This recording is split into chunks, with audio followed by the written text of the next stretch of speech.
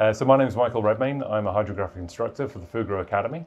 Uh, we're currently standing on the uh, FTV Explorer, which is our uh, survey training vessel. So the Fugro Academy is a specialist training centre. It's based down here in Plymouth. Uh, and what we do here is we train in various fields, mostly in the offshore world.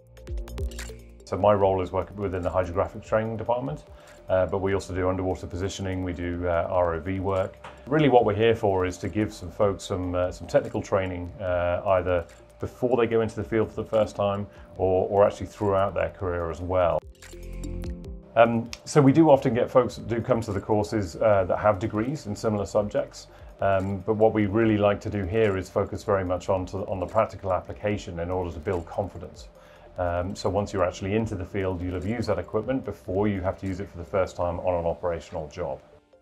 The real benefit for you to come to a course is going to be the ability to come and almost work within a sandbox here. Um, unlike learning in the field where you're, you're on an operational job where uh, you have a lot more time pressures, a lot more cost pressures, uh, one of the benefits here is we've got the vessels like the one that we're standing on right now, uh, where we can come out, we can make mistakes, but we can make those mistakes in a training environment and we can learn from those.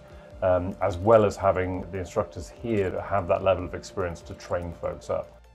There's so much to learn. Uh, I've been a hydrographic surveyor for 22 years and I'm still learning new things every day. So yeah, I thoroughly, thoroughly recommend it.